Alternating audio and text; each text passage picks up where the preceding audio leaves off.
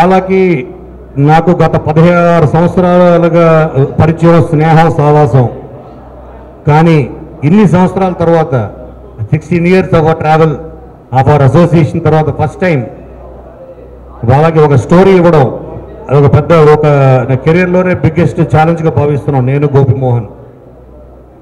అలాగే ఒక లక్ష్యానికి లౌక్యానికి ఒక లెజెండ్ తోడైన రోజు ఇది.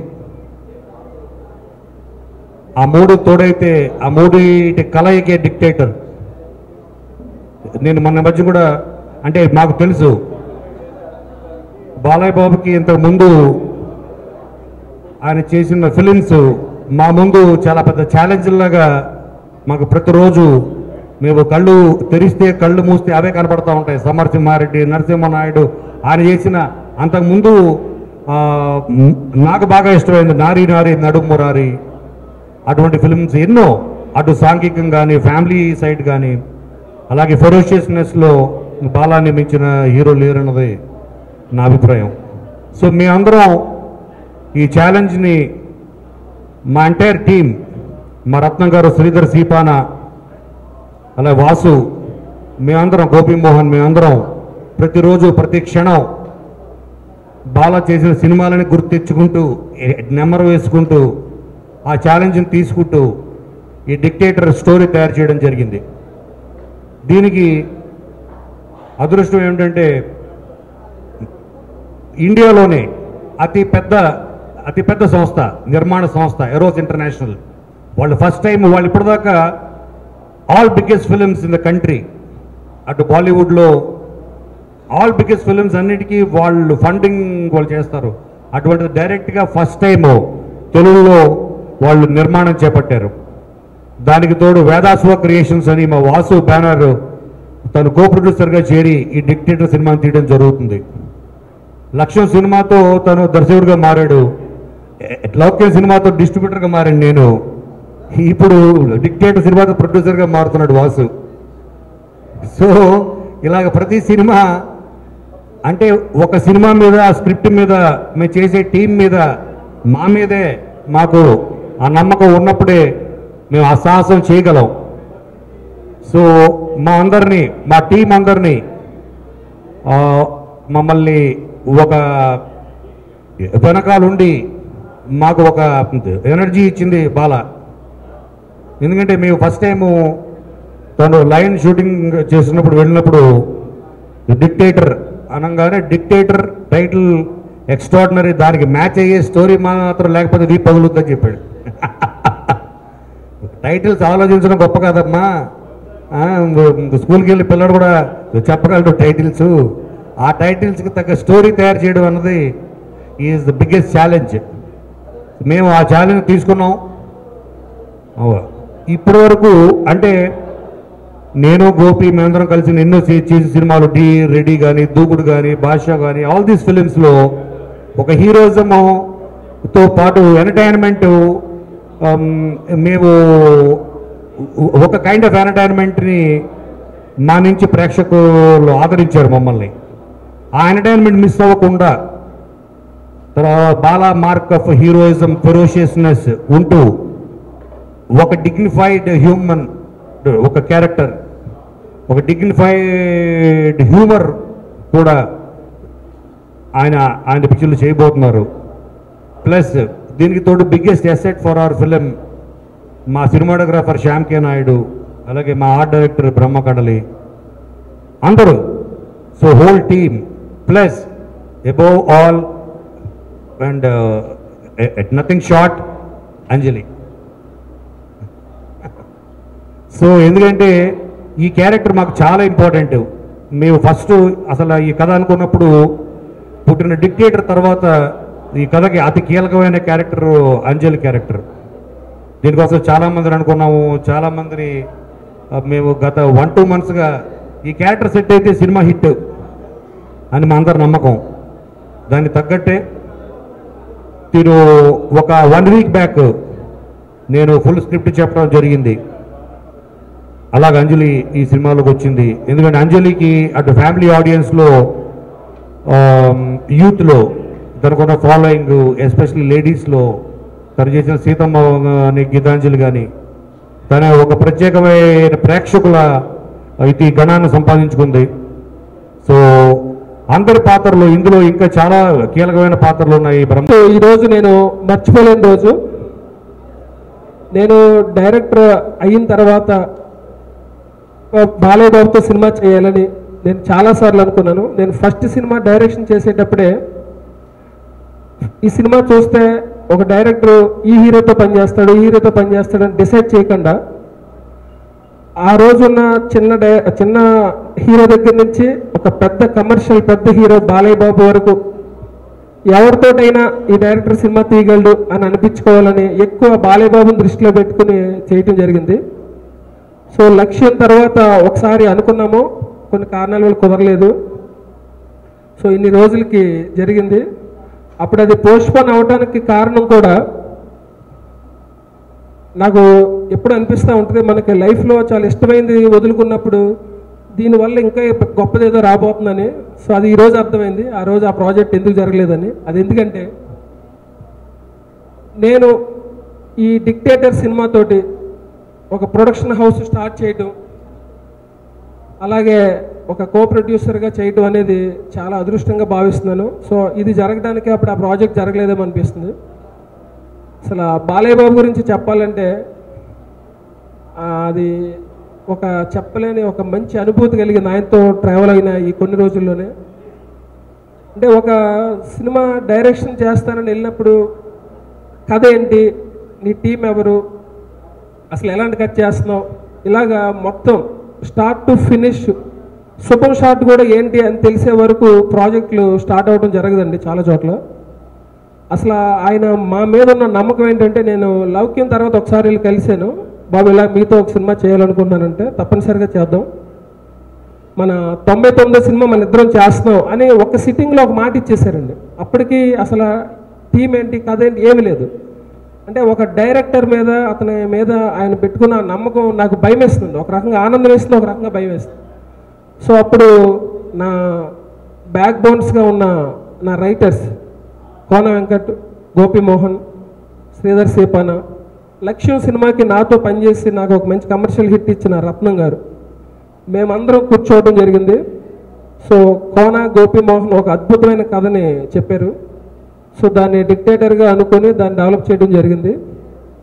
స్క్రిప్ట్ వర్క్ చాలా బాగా జరిగింది. అసలు బాలయ్యబాబుకి రీసెంట్గానే మొత్తం చెప్పడం జరిగింది. డిక్టేటర్ సినిమా గురించి ఇప్పుడు ఎక్కువ చెప్పడం బాగోదు. ఒకే ఒక మాట చెప్తాను. సినిమా అయిపోయిన తర్వాత దీనిలో ఉన్న గొప్ప విషయాలు అంటే నేను తర్వాత చెప్తాను. ఇప్పటి వరకు బాలయ్య ఫ్యాన్స్ చూసే సినిమాలు వచ్చినాయి. ఫ్యామిలీస్ చూసే సినిమాలు వచ్చినాయి. ఫ్యాన్స్ ఫ్యామిలీస్తో కలిసి చూసే సినిమా మేము తీయబోతున్నాం ఇప్పుడు. సో తప్పనిసరిగా ఇది అన్ని రకాల ఆడియన్స్ని ఒక యూనివర్సల్గా చూసి చాలా ఆనందించేలా ఉంటుంది సినిమా. క్యారెక్టర్లోకి వెళ్ళిపోయాను ఆయన జోక్ వేస్తుంటే అసలు చాలా ఆనందంగా ఉంది అంత జోవియల్గా ఉండటం అనేది. ఈ సినిమాకి చాలా మంచి టెక్నీషియన్స్ దొరికారు. కెమెరామెన్ శ్యామ్ కే నాయుడు మ్యూజిక్ తమన్ గౌతమ్ రాజ్ గారు రవివర్మ యాక్షన్ ఫస్ట్ టైం బాలేబాబుతో చేస్తున్నారు. సో బ్రహ్మ కడలి. ఇలాగా మంచి టెక్నీషియన్స్ అందరూ మనసు పెట్టి ఈ సినిమా సూపర్ హిట్ చేయాలి అనే ఒక తపంతో చేస్తున్నాం.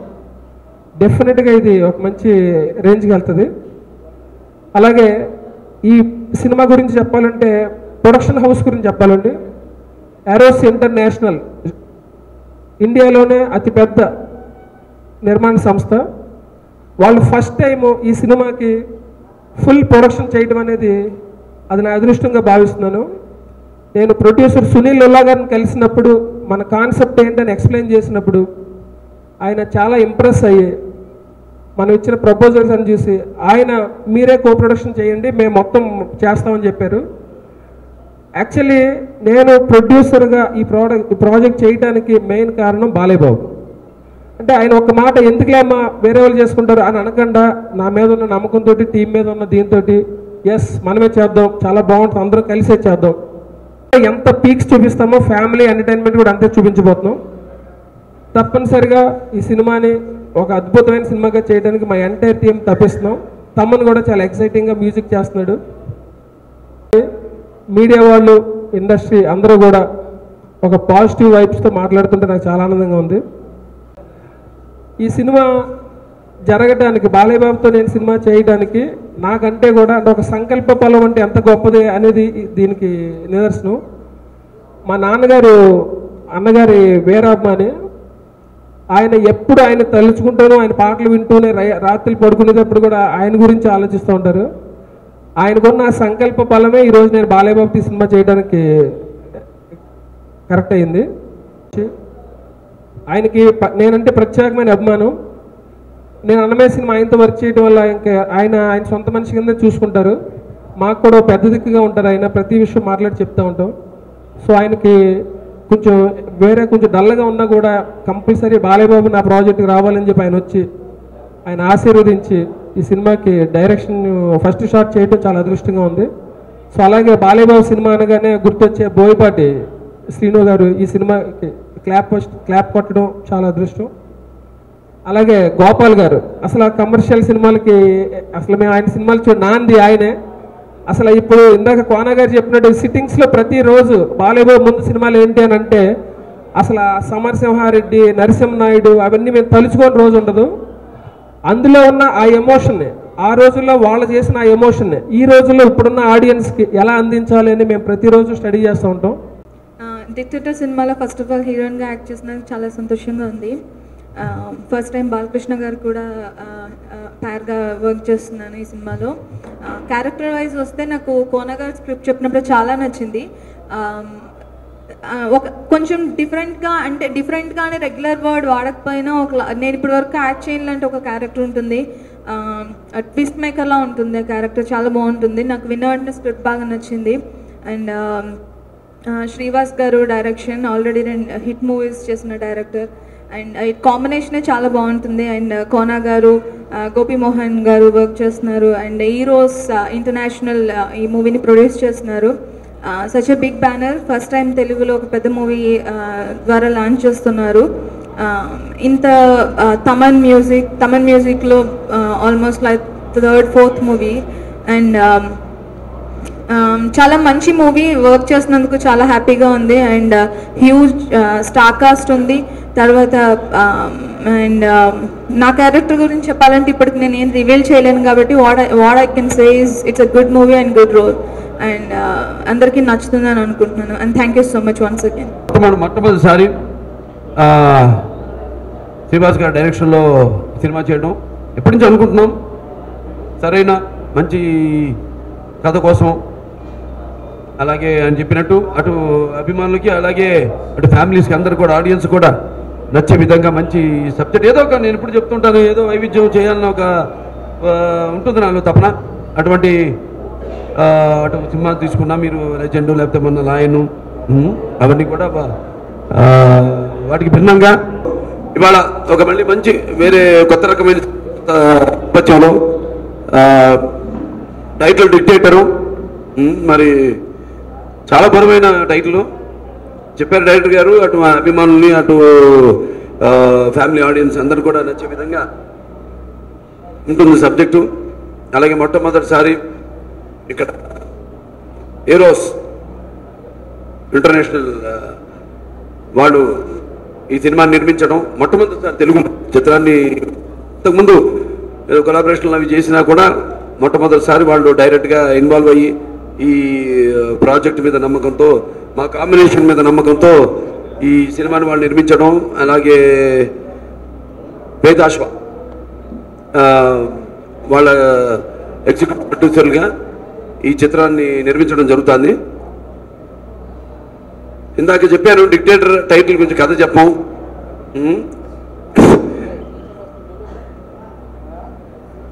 ప్రాణం తీసే భయం కన్నా ప్రాణం పోసే ఆయుధం గొప్పది.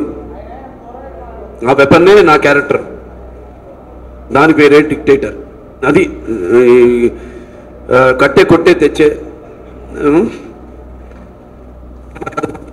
ఇక సినిమాకి కోన వెంకట్ గారు అలా గోపి గారు కథా స్క్రీన్ ప్లే అలాగే మన శ్రీధర్ శ్రీపాన గారు ఆయనేమో రచన అలాగే రత్నం గారు ఆయన సంభాషణలు అలాగే తమన్ గారి మ్యూజిక్ శ్యామ్కే నాయుడు గారు కెమెరామెన్ అలాగే రవి వర్మ పోరాబాబు అలాగే బ్రహ్మ కడలి ఆయన ఆర్ట్ డైరెక్టర్గా ఇంకేమన్నా ఇంకేమన్నా అందరూ చెప్పేసి పేర్లు అందరూ ఇదంతా కొత్త కాంబినేషను చాలా ఉత్సాహంగా ఉంది. అలాగే అంజలి గారు ఎందుకంటే ఎందుకంటూ తను చాలా అనతి కాలంలోనే తక్కువ కాలంలోనే మంచి నటిగా తనకంటూ ఒక ఒక ఇమేజ్ను తను సంపాదించుకుంది తన నటన కౌశల్యంతో. చాలా ముఖ్యమైన పాత్ర ఈ సినిమాలో తను చేసే పాత్ర. సో తప్పకుండా ఇంకా ఈ సినిమాకి టైటిల్ తగ్గట్టుగా ఈ సినిమా ఉంటుంది ఇది చూసుకుంటూ కొత్త కాంబినేషన్లో తప్పకుండా కొత్త కొత్త రికార్డులు మళ్ళీ సృష్టించ సృష్టించడానికి మా సాయశక్తులు మేము ప్రయత్నం చేస్తాను రికార్డుల కన్నా ముందు